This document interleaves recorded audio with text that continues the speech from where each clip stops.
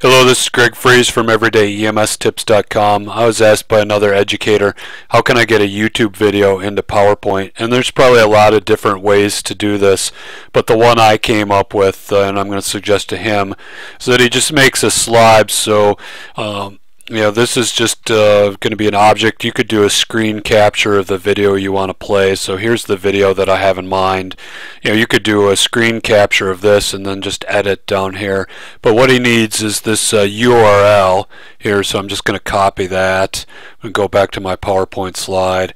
And then I'm going to uh, hit control K to make a hyperlink here and for the address I pasted that in and what I need to do is I want this to play in full screen so I'm going to replace that equal sign with a slash and then I'm also going to delete watch question mark. And so now we'll have the URL for this object. I'm going to launch the slideshow. And now if I click on this it will ask me if this is okay would I like to open this? Yes. Um, and then here's the video in full screen mode and if I play it it will begin to run.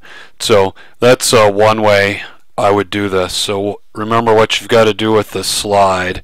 Let me just put a new slide. So you got to edit the URL so um, that's the URL to actually go to YouTube and watch the video there.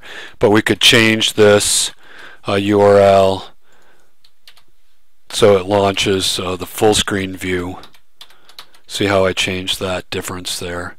Um, and same thing, this would also launch, this will launch in, in inside your web browser or this will launch, whoops, I did the same one twice, didn't I? This will launch the full screen view. So there you have it. Uh, again, this has been uh, Greg Friese from EverydayEMSTips.com. Go there for resources for EMTs, paramedics, EMS students, and EMS educators. Thanks.